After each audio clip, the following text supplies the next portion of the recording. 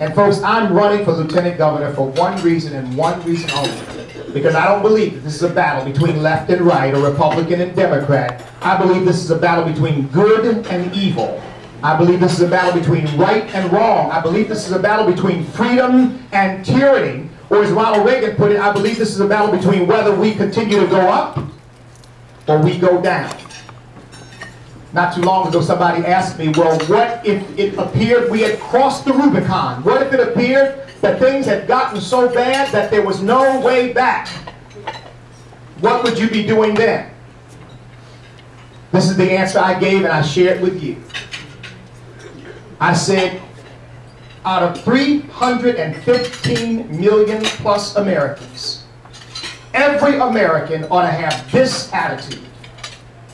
If I am the only one left, the only one who is standing up for freedom, the only one who is standing up for the Constitution, the only one who is standing up for the values that made this country great, then I will do it until I breathe my last breath, but I will never, ever, ever give up on the United States of America. I hope that's the attitude that you have.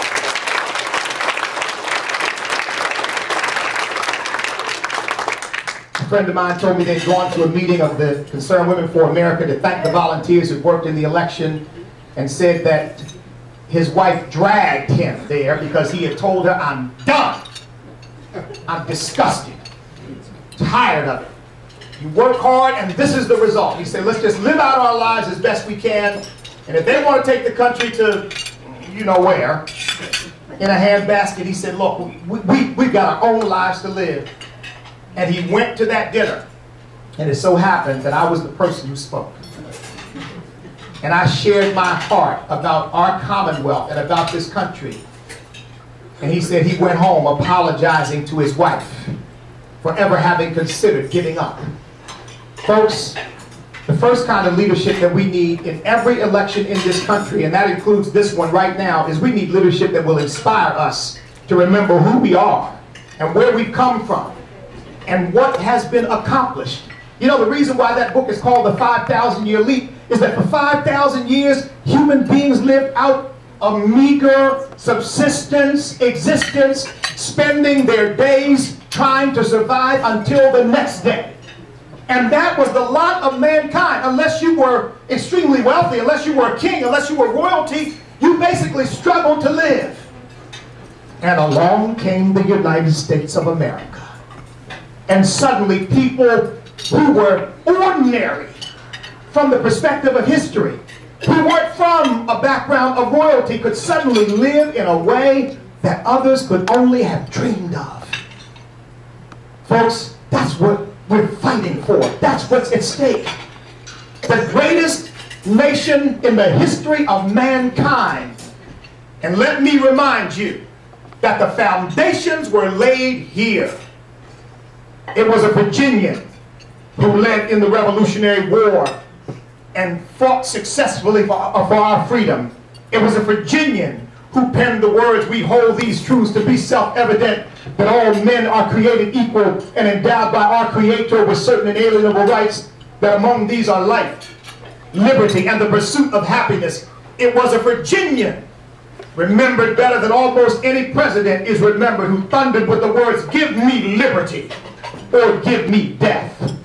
And it was a Virginian who framed what we now call the Constitution of the United States. But you all know that before it was called that, it was called the Virginia Plan. Virginia is where the foundations were laid, and Virginia is where they must be restored. But we've got to have leadership that will inspire us to remember who we are. Remember what we've come from. Remember the price that's been paid to give us the liberty that we now enjoy. Ronald Reagan said in one speech, he said, they called me the great communicator. He said, but I'm not a great communicator. He said, but I communicate great things. But they didn't originate with me. They are the things that are in the hearts of the American people. And that's why they resonate.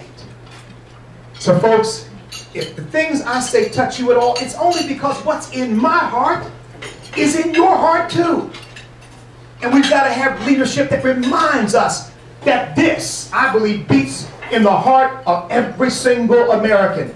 Where there's been an attempt to indoctrinate, an attempt to manipulate, an attempt to frighten people into being against the very values that made this nation great, we've got to awaken those values again. Folks, my father worked 33 years in Sun Shipbuilding and Dry Dock Company in Chester, Pennsylvania. In the snow, the cold, the heat, the rain, it did not matter because he believed that there was a better life possible for his son than he was experiencing. He didn't want your food stamps. He didn't want your handouts. He didn't want your keys. All he wanted was to be left alone and to work and build a better life for his son. Do you remember when the average American was too proud to want a handout?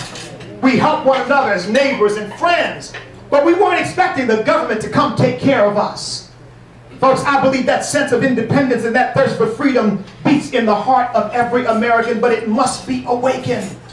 And when we speak truth to people, that truth resonates in the human heart. I can tell you story after story after story about black folks and Hispanic folks that I've had the opportunity to address. And when I've addressed them, they, they say, you know, I, I hadn't thought about it. I went to Buckingham County and spoke there, and there was a black woman in the audience and later on, a woman said, I sent her there to hear you. She's a dyed-in-the-wool Democrat. She said, but I told her, just please go listen. Just go listen to what he has to say and judge for yourself. She said she got into the parking lot and called me immediately. She said, I just left. She said, well, what do you think? She said, you messed me up. because she said, I agree with everything he said. Folks, pe people need to be inspired. My wife and I had listened to Jimmy Carter talking about the malaise and, and turn your thermostat down to 68 and every excuse he could come up with for his failed leadership. And then we started listening to Ronald Reagan, and Ronald Reagan started talking about a city set on a hill. He wasn't talking to black people and white people and brown people. He was talking to Americans. He was talking about the last best hope on earth. He was talking about morning again in America. And after listening to him for a while, my wife and I looked at each other one day and said, you know, I think we're conservative. and we were. We just didn't know it. And folks, there are a lot of people out there like that. And we've got to awaken them. We need unity. I was talking to some of you earlier about the problems that we have in our own party right now. And we've got to bring people together. Some people ask me, well, how could you support George Allen? You ran against him. How could you then support him? I said, it's very simple. A house divided against itself cannot stand. Either we are unified or we lose. I gave my word that if I won, uh, I would expect everybody to support me, and if I lost, I would support whoever the nominee was. We've got to have that attitude, again, persisting in our party. and then, folks, we need to be able to broaden this effort and reach out to people that we've never reached before. They're out there. We've got to bring them in. And the last thing I say is this, and I'm not ashamed to say this, we've got to remember that our founding fathers did not believe that America was an accident of human history. They believed that this is a providential nation. And folks, the idea that we're going to solve the depth of our problems without divine providence, to me, is foolishness.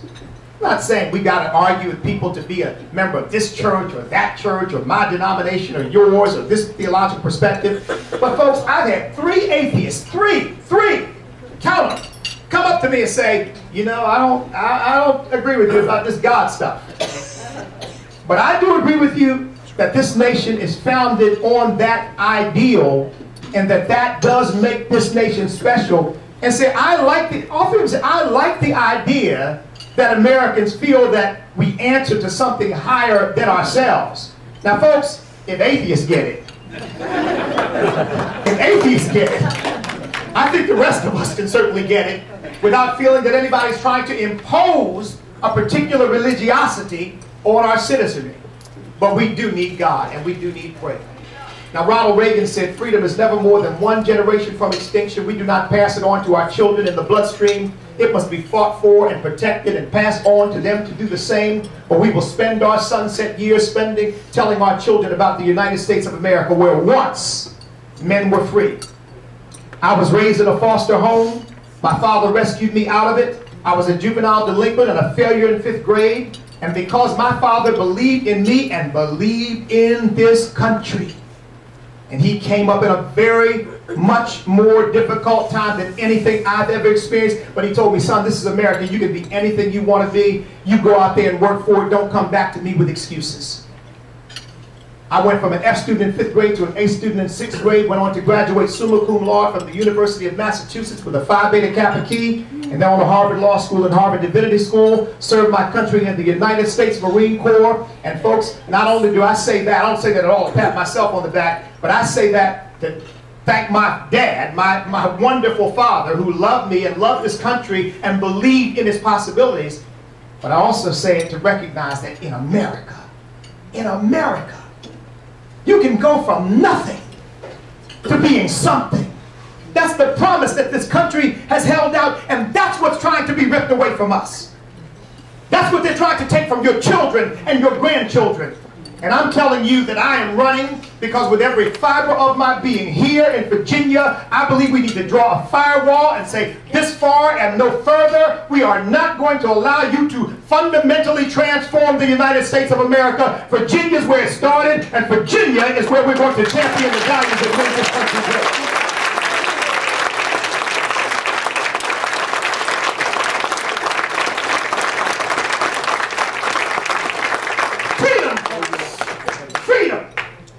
Nothing like it and there's no substitute for it. Freedom is why I support the Ninth and Tenth Amendments being restored to their proper place so that our founding fathers and what they bequeathed us is a counterpoise to an overreaching federal government. Freedom is why I support a taxpayer bill of rights to say that the government enrichment can't go beyond the rate of inflation and beyond the growth of the economy so as to continue to reach into the pockets of the, the Virginia taxpayers and take our money. Freedom is why I believe that this transportation bill, the expansion of Medicaid, and setting up these exchanges to allow federal exchanges in Virginia are all a mistake, and I ask the governor to veto them.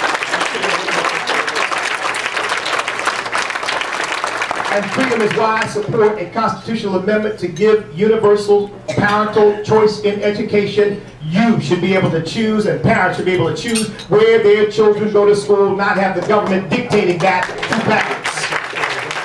Freedom, folks. Freedom. Let not the legacy we pass on to our children be the end of freedom, but let it be renewed freedom the freedom that allows us to look at that flag and, and have goose arise. Goose pimples arise on our, our necks. I'm tired.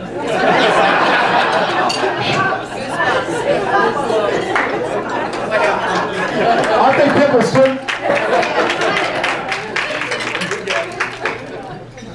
Goose bumps is right. Thank you all so much. But freedom.